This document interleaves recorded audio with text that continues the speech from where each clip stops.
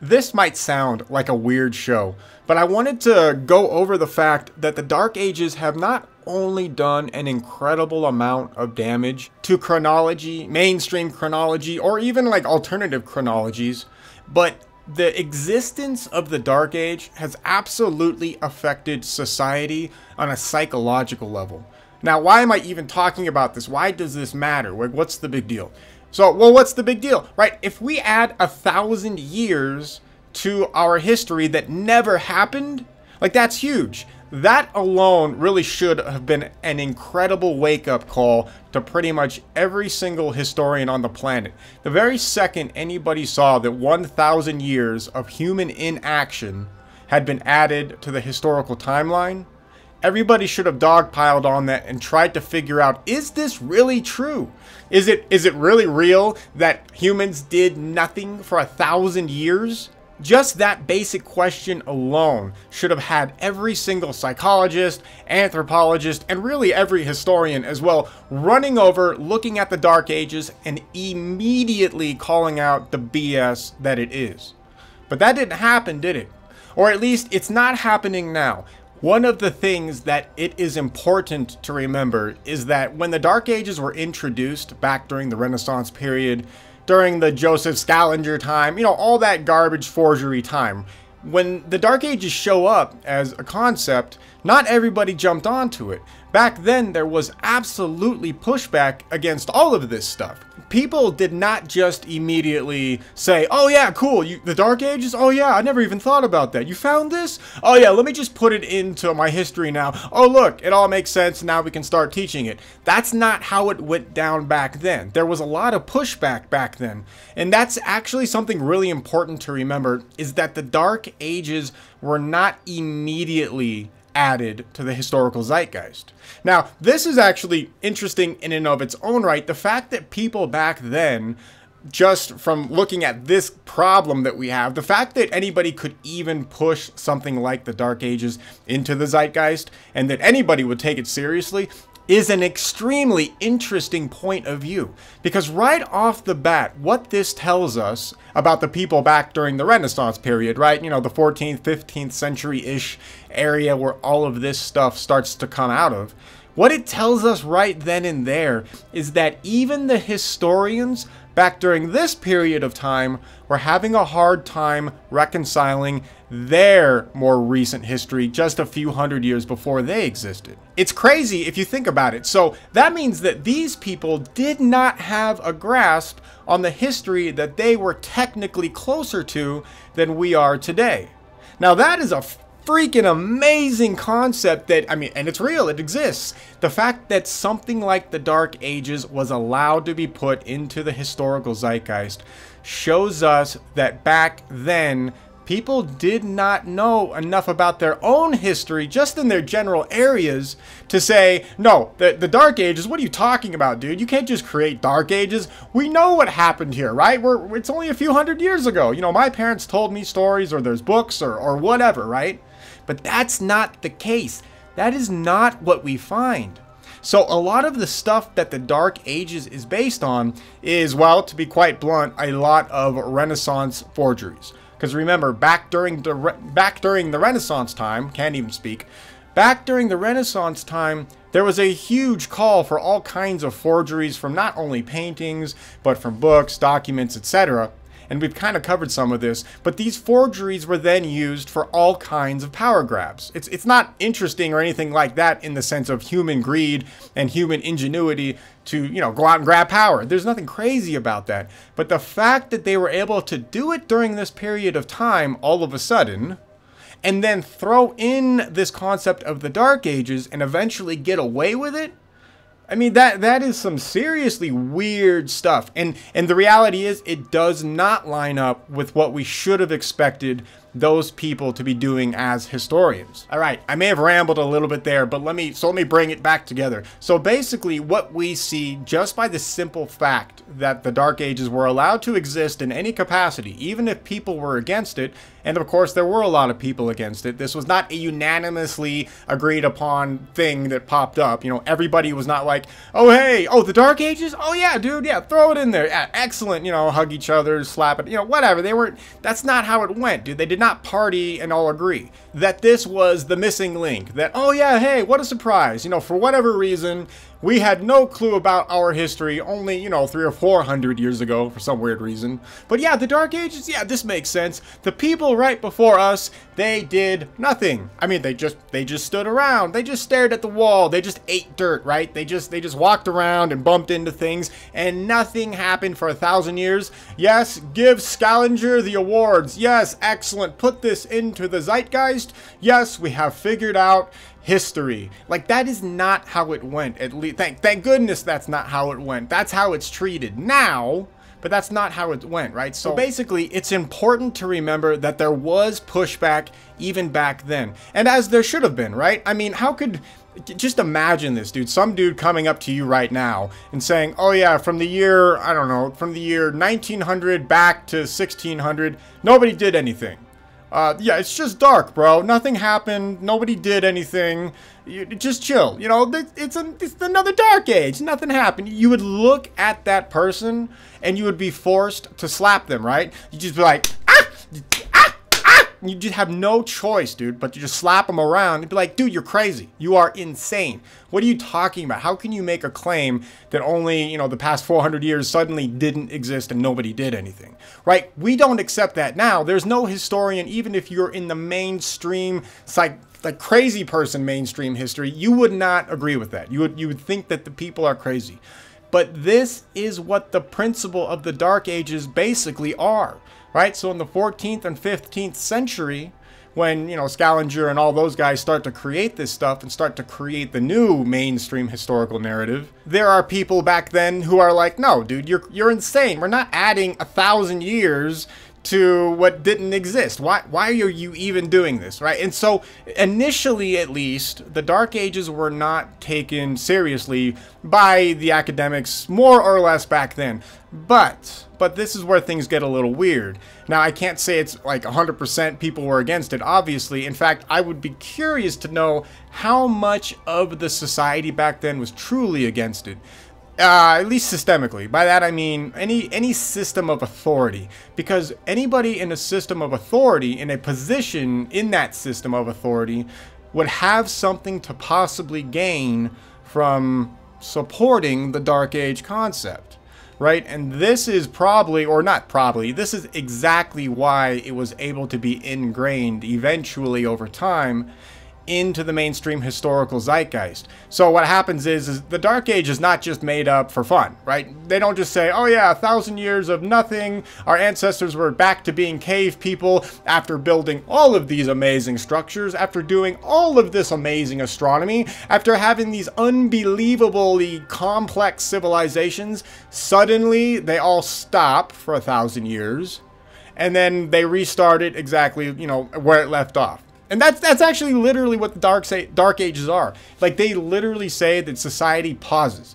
It's not like society rebuilds itself, by the way. Society stops at a certain point, and then a thousand-ish year, you know, 900 to a thousand. I say a thousand. It could be, you know, we don't know the perfect number. 900 to a thousand years later, it just reignites exactly where it left off. All right, now we'll get into that in, in a different show and we'll have science to prove all of that. But that's the concept of the Dark Ages. And I realize that I am rambling.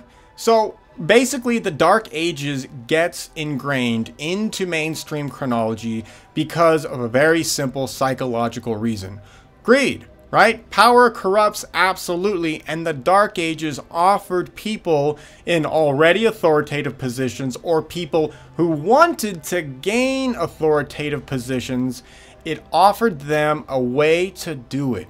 Right? All you had to do was get a forged document, a forged manual book, whatever, maybe a forged painting, you know, whatever you could get that was forged, that was your proof to a claim towards something And suddenly you you know you had a better chance of getting it. You had an opportunity to get that power that you didn't have before. Now, if you're rolling your eyes right now and you're saying, well, no kidding, dude, I understand that people want power, but think about what I just said. This is a serious statement that we have just pointed out that there is a 1,000 year period that has been added to the mainstream chronology zeitgeist that is being used to gain power and control. And the majority of the population buys into it. That is a serious problem. The Dark Ages are not just something that simply exists within a timeline, whether it's real or not, and you can just skim over it and ignore it or deal with it or whatever and it doesn't matter. No, the fact that something like the Dark Ages exists in our timeline and has been exploited for like what, five, six centuries now by people who have been able to exploit it, that's a serious problem. And what that does is that destroys and absolutely corrupts any kind of historical research that you are hoping to do.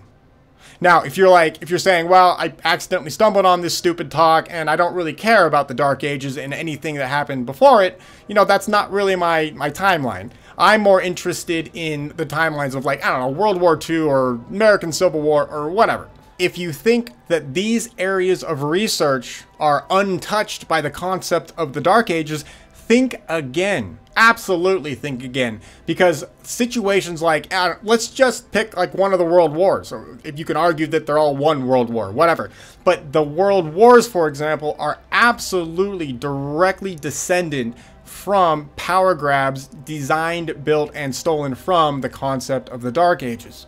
All right. So if you're studying, you know, the politics of a world war and you're not factoring in the true histories of the families, of the companies, of the of the people in general who got all of those gears rolling, you do not have a real fundamental picture of that war. Your understanding will always be flawed.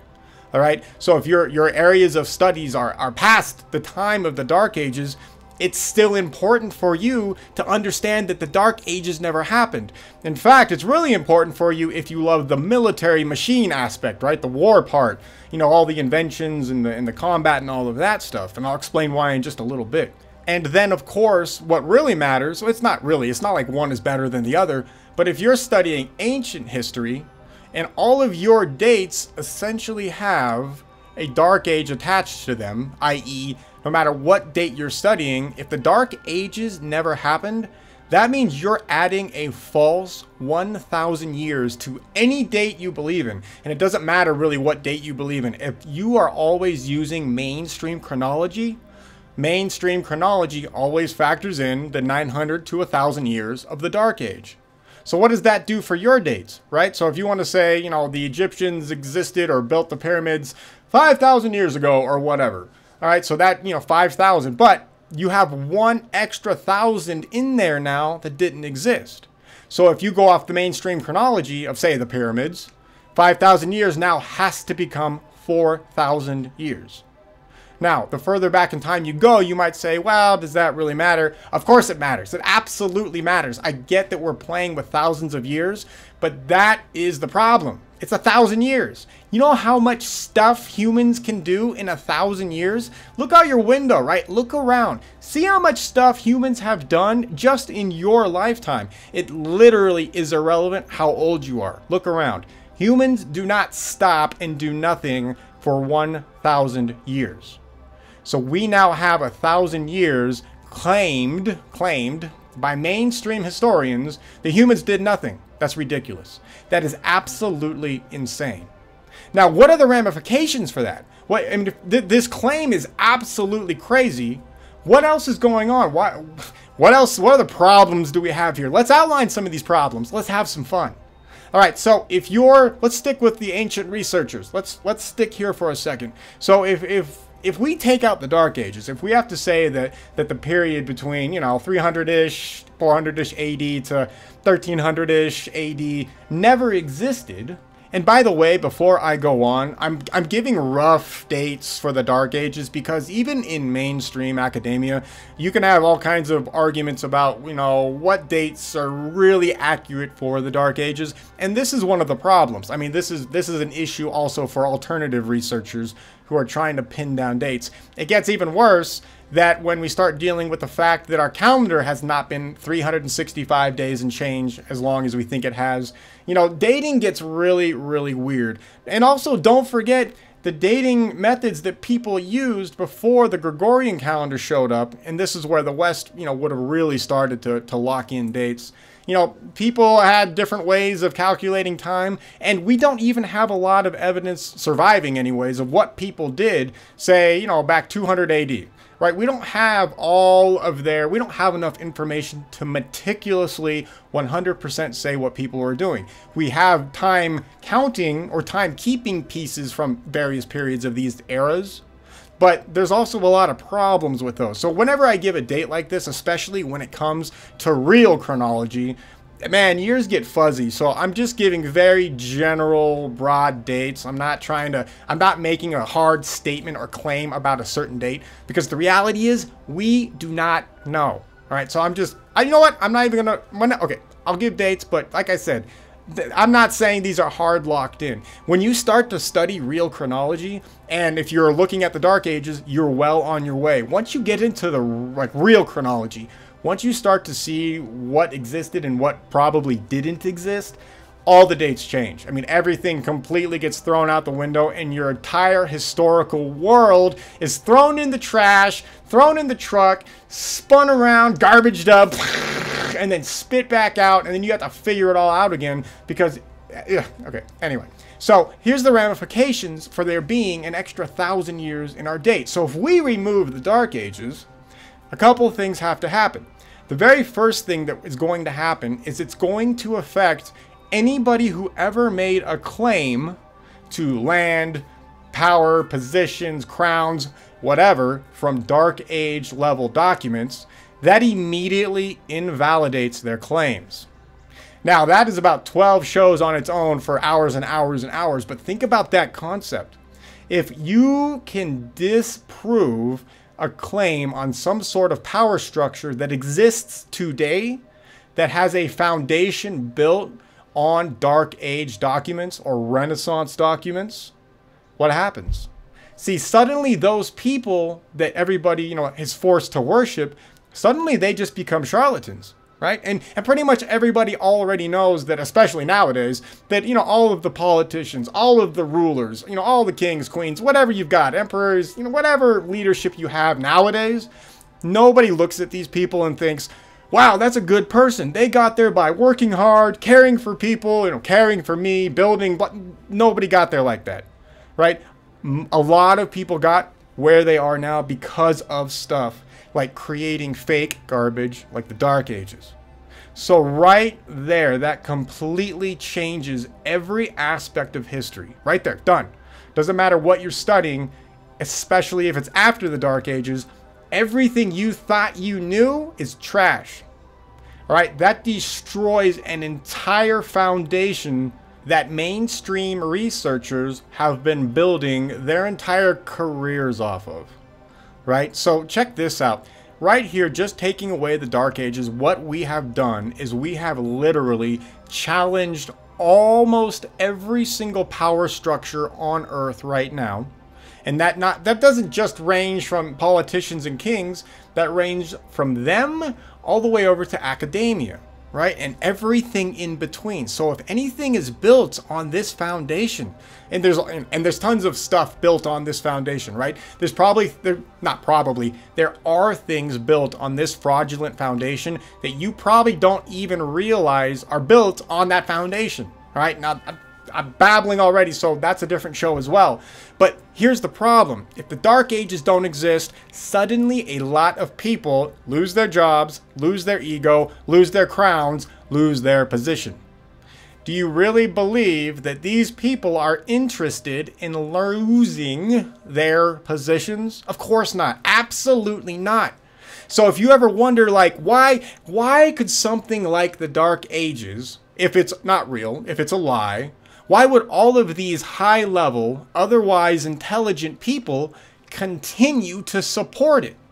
And that's it. It is simple human psychology. Power and greed. That is it. You do not need some sort of crazy, huge conspiracy. You don't need anything. All you need is literal, basic human greed. That's it. You're done. That's all you need. And if you can build empires off of these little documents or these little forgeries, then people will do it. And you're out of your mind if you think people won't do it. If you think there are people out there who will not sit there and, and be scumbags like this and, and forge documents and build stuff up off of imaginary histories, you are mentally ill. Seek help immediately.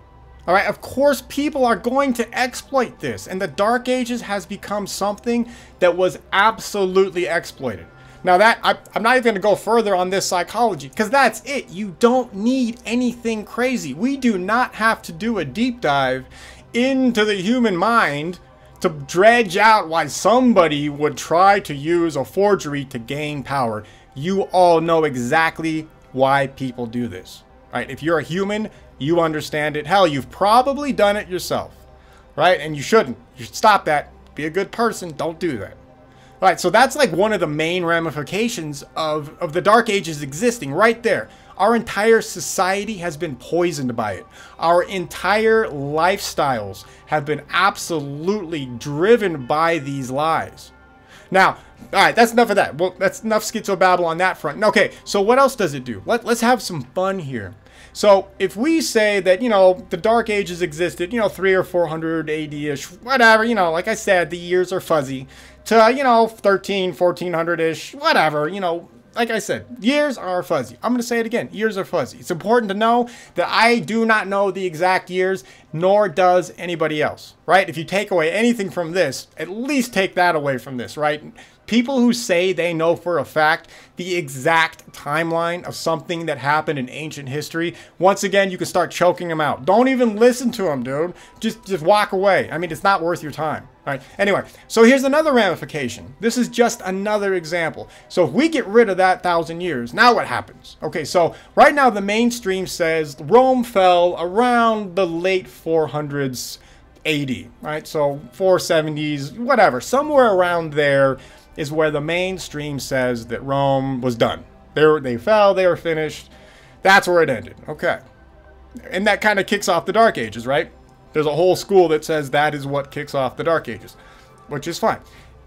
Great, whatever. So if we now have Rome falling in 476, we now cut out a thousand years.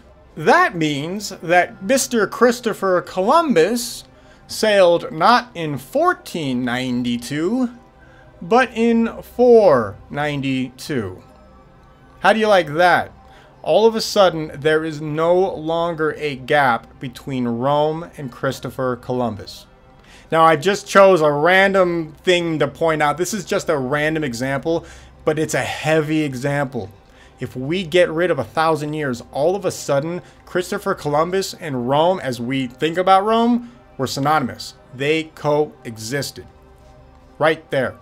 Now, if that sounds crazy, I understand. Because one of the other problems with the Dark Ages, or I should say, one of the problems with psychology that the Dark Ages highlights, is your own indoctrination. It highlights your own psychological conditioning that you have been put through over the course of your life. Now, once again, I stress this is only on the Western side of things, the Western world.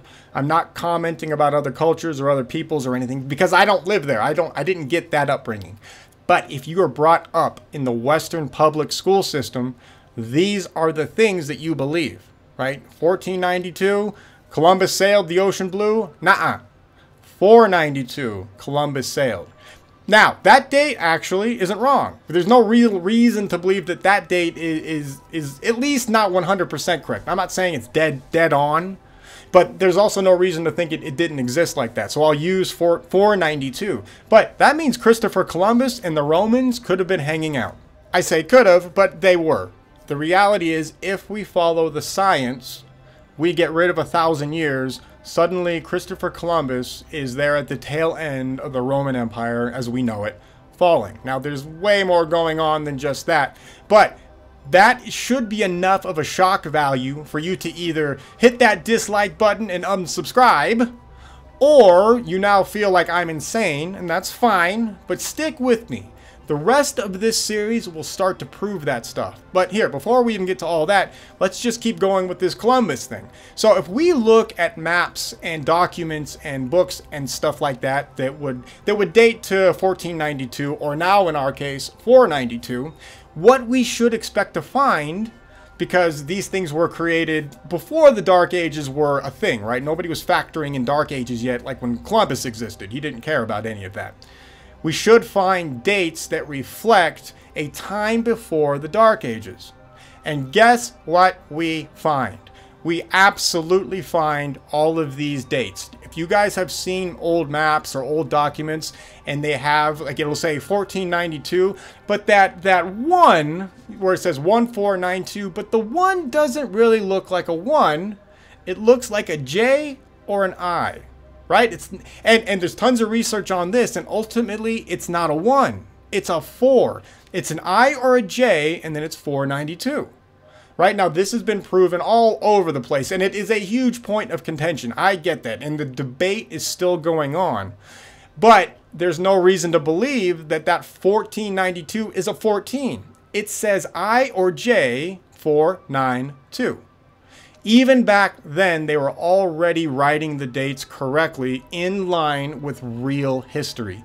Once the Dark Ages show up, then all of a sudden, those I's or those J's that prefix that date suddenly become one. And of course, you know, the mainstream likes to say, oh, they were just dumb when they wrote one. You know, it's just a fudging, it's just, you know, an extra mark or whatever. It's not really an I, it's a one. You know, the, ple- the pen bled into the, the parchment or, or whatever. The amount of cope that the mainstream has for that I and J in front of a date is, is absolutely hilarious. Every time you hear somebody talk about that, you just like, just watching them trying to like, oh, uh, uh, uh, you you just turn it off. You just be, all right, I'm moving on. You're dumb. Because that's all it is. It's obviously an I or a J. To make matters even worse, they even say it back then, right? The I or the J meant, you know, is, Isus or Jesus, right? That was the time of Isus or Jesus. That is what that meant. And that's what they say. It's right there. These are scientific facts. So we now have Christopher Columbus and Romans hanging out. That also means that we are not living in the year 2023, or if this channel is still up whenever you're listening to it in a few years from now. I'm sure it's been deleted by then. But that means we live in the year 1023. Suddenly, we are now only 600 ish years from the Roman Empire. How do you like that? We are only 600 years away from all those amazing things happening back then. Now, that's probably also going to sound insane, but I do not make these claims based on nothing. Everything I'm saying here is built off of science and real scholarship, objective scholarship. So I know I've been babbling here this whole time, so I'll, I'll, I'll shut it down. I'll stop talking. But what I suggest to you is to go start looking at dates that have that I or the J in documents. Start looking at those dates. Okay? Start learning about some of that stuff and make up your own mind, but look at the science behind it and go look at objective people. Do not only read mainstream history. I, don't do that. Or research. Don't just sit there and read what those guys say, you know, smudged pen marks or whatever. The next thing I would say is start to look at the evolution of human technology throughout the years right? Why why do we have this thousand year gap to where basically historians are willing to say, and this is what historians say, this is not me. They say that basically human society pauses and literally picks up after a thousand years, right where it left off. And I mean right where it left off down to the chemical fingerprint of what they use in construction material. The science proves this. The documentation proves this. The historical, real historical timeline proves this. So this series will continue. I, I have a lot to show you guys, so I'll stop talking here because I've gone enough schizo babbling here. But don't forget, here's the takeaway. Here's the takeaway to slap you in the face a little bit and get you thinking. All right, the first thing and the number one thing is is that your current society that you live in has absolutely been tainted by the existence of the dark ages. So if you are willing to continue to keep this lie going, you are only hurting yourself and those who you love and your community and the world. I, it, you, you know, that's what's happening. You are perpetuating a lie. The next thing is, is that we can also look at history in a more smooth evolutionary state. I don't mean evolution in the sense of, you know, monkeys to men. I mean technological evolution, clothing evolution, writing evolution. Now, some migrations of humans will start to make sense once you get rid of the Dark Ages, etc., etc., right? Columbus, Rome, synonymous. They existed in the same period of time. This makes sense because we see Romans being painted exactly like Renaissance people. Right now, suddenly all of those paintings make sense. Okay, that's for another show as well. All right, so keep all this stuff in mind, and I will keep showing you all the information that unequivocally proves that the Dark Ages are absolute lies and garbage.